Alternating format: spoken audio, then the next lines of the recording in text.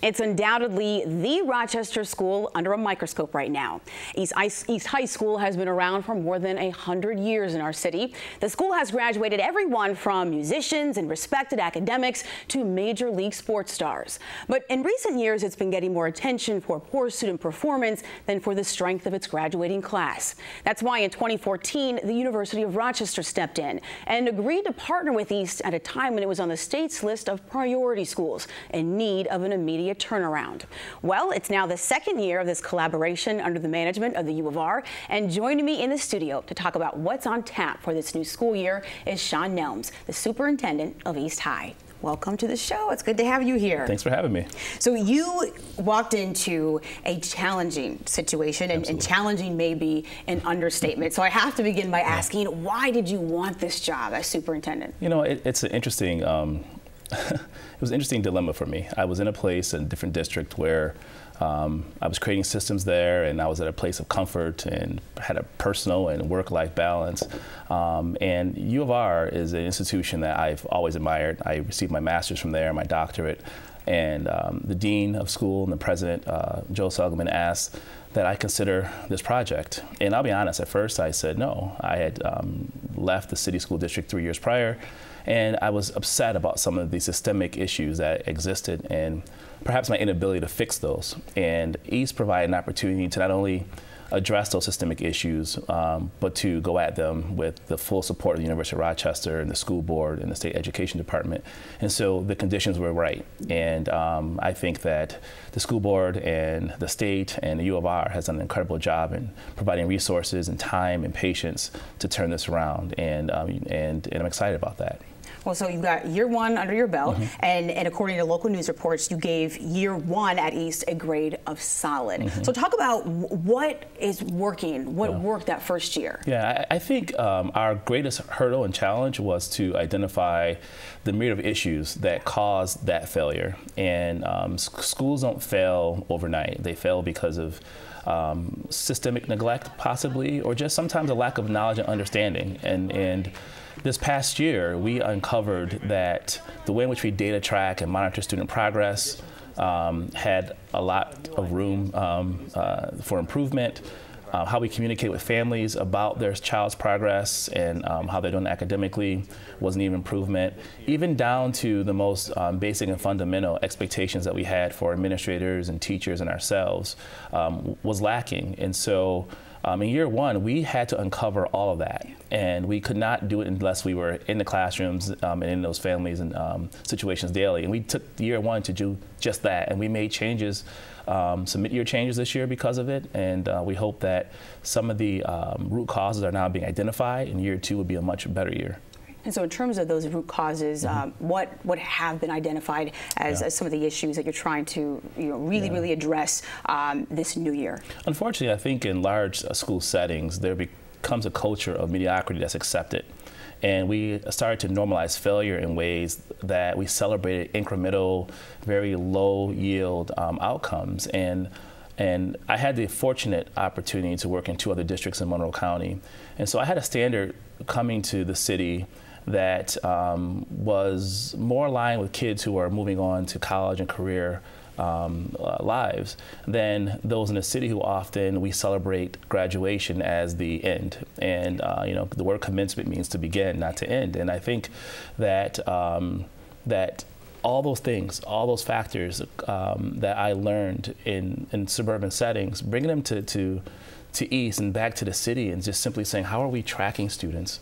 Um, do we know what the credit requirements are for individuals? Um, and then what are we doing to catch kids up and also accelerate them so they can get admission into better universities and, um, and better um, employment opportunities? And so, and so just for the city itself, there were just a myriad of issues that were identified. Um, and, and I would say that our students failed because the systems were failing them.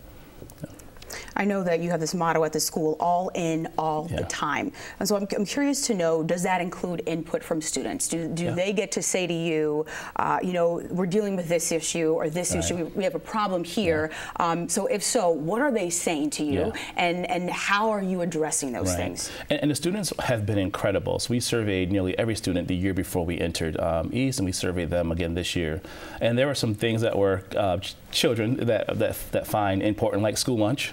Um, they complained about the important. food. They wanted better food, and, um, right. and, and, but they also had some very serious um, and, and, more um, more concerning uh, issues as well, uh, including the adult-student interaction, um, a sense of not being treated fairly or being heard, or um, the assumption of guilt um, with every adult interaction. That became um, a, a large topic for them.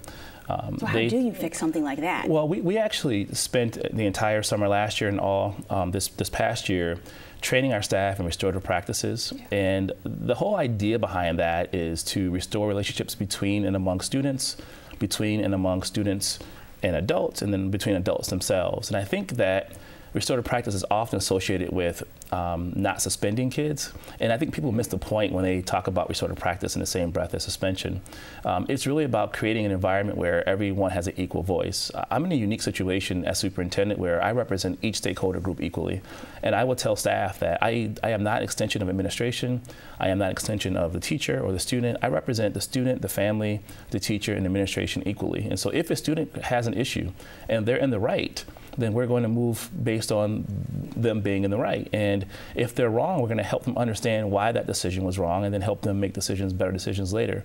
And, and that's a shift in our building as well. We're really trying to um, create this all in, all the time feel, which really means everyone has equal voice, at least has a process, equal process to voice their concerns, but also the things that they celebrate daily. And um, and I think students will say to you that they have, we have responded, we have improved um, some of the lunch um, options.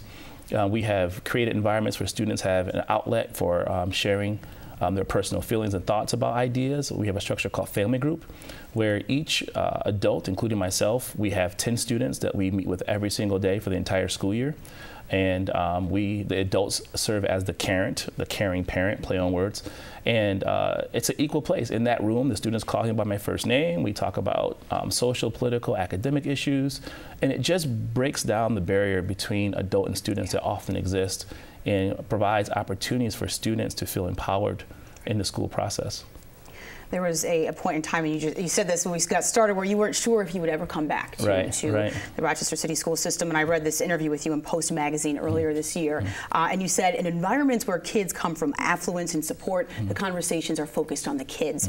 But then environments where kids need the most support and the most advocates in their corner, um, the conversations were more so about the adults. Right. So if you can't kind of explain that, what you mean by that, and what a conversation about an adult looks like, uh, it sounds like, and is is second, is that statement relevant today, considering mm -hmm. you know East still is a Rochester school? Absolutely. I, I think that um, again, when we normalize failure and we accept mediocrity, we start to glorify excuses, and we may compare you know, East students to another city school when that other city school may be way off the national norm.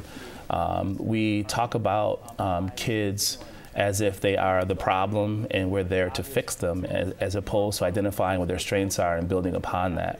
Um, in, in, urban schools, because of the historic uh, failure and some of the systems that are in place, and to be honest, I know teachers have some very well-intentioned teachers who um, have for years tried to implement systems to improve instruction and discipline, and they have felt like they haven't been heard.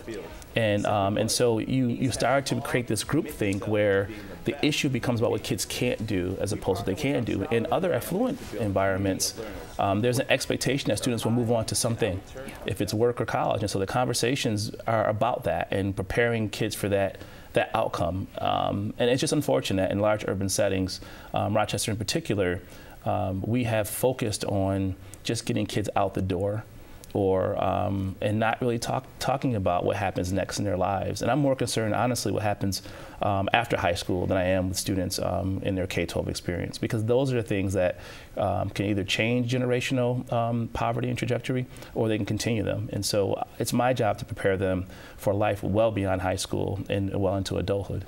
I want to drill down with you in terms of the things, the, the gains that have been made, and then where yeah. you still see gaps, and you want to work towards yeah. those things. Um, so that being said, uh, you know, mm -hmm. I was mm-hmm. in East High School maybe three years ago was okay. the last time, and I was covering the story. What's going to happen to East? That was yeah. the big question. Okay So how would the school look different to me now, uh, you know, versus mm-hmm. then? Mm-hmm. And and are there things that you could say, you know, we've made these gains since that time, right. but these are things that we still really need to hone in yeah, on? Yeah, I'll speak to a couple of gains. We, as part of our EPO agreement with the state and the school board, um, we have mandated professional development hours for teachers during the summer. And this is not busy time. This is um, teachers working with other teachers and some administrators around building curriculum and enhancing instruction, looking at assessments. And so you'll walk into, if you walked into East um, this school year, you would see teachers having some consistent expectations around instruction. You would see them collaborating in ways that, um, that push and challenge them, themselves um, instructionally and educationally. Uh, you'll see students um, um, providing feedback on lessons lesson plans are posted so that teachers can share them among different service providers. Um, so you would see an academic shift that's really focused on teachers leading the charge, their teacher leader model, um, providing kids adequate support. You would see a shift um, this year in in how we remediate students, but also accelerate them. We have this robust um, structure called support and uh, it's an opportunity for students to get extra attention academically for those who are accelerated or those who are behind. When you have 98% of your students not proficient in literacy, it's not a special ed issue, it's a school-wide issue. And so we have to provide those opportunities for all students. And so we have that, that's for students. They have that support period depending on their need, one, two, or three times within a week, um, or within a given day, depending. Um, you would see um, hallways um, being managed in a thoughtful, caring way and it's not, it's no longer a police state. And so um, security officers don't have the right to, to, suspend students or to yell at students. Um, it's our job to, to meet with them and to try to correct behavior. And if a student is defiant and out of control, then absolutely, suspension sometimes the option, but it's not the first option. Suspension is a pretty serious offense. To remove a, a student from a setting is a serious offense, and it can't be level one. Uh, it can't be a level one response, and, and that was um, part of the norm, as reported by students, as reported by staff, and as reported by our, um, our, our, school and safety and security. Um, I think also you'll see um, a greater a greater attention paid to um, community involvement. We have a ton of providers um, at East who have, some are there voluntarily, some are through contract, who are focused on trying to deal with some of the behavioral health issues that exist in public schools, um, issues around trauma, yeah. issues around basic dental and, and, and, physical needs. And we've expanded that um, last year. The University of Rochester Medical Center, um, under the direction of uh, President Seligman, has poured tons of resources, time, energy, and also financial resources into enhancing um, our ability to meet the most basic and fundamental needs of our students. And that's just among many things that you'll see if you were to visit. And before we close, sorry, it's about 30 seconds. Oh, what is your one challenge for this year? What would you say? You've yeah. talked about the gains. Mm-hmm. What's an area you would say this is going to be a hurdle for us this year? I would say we have to still focus on attendance. We need kids in the seats. Our attendance did improve, yeah. but um, not enough. And I think um, getting students to find school relevant and parents to find school relevant becomes a challenge, and engaging them in that process is something that we will continue to work on. It's not an excuse, but it, it is an obstacle. Well, exciting times at East High School, and there's much going on, and that means much to track and report on for WXXI News. So we'll look forward to having you back you. in the near future. A special thank you to my guest, Shaun Nelm, Superintendent of East High School, in partnership with the University of Rochester.